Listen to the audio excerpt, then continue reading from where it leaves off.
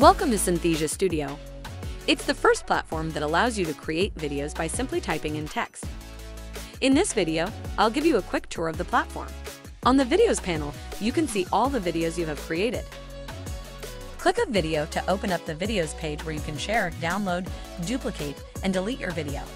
Click the Create New Video to create your first video. Type the video title, write your script, and click the Listen button to listen to the preview. Hi, I'm Vincent, and I will be your presenter today. Or you can upload your own audio. On the right side, select an actor, choose your framing, and adjust actor sizing. Add a soundtrack and choose a background or upload your custom background. You can also add a cool design with our canvas. When you're ready, just click Generate Video. And that's it.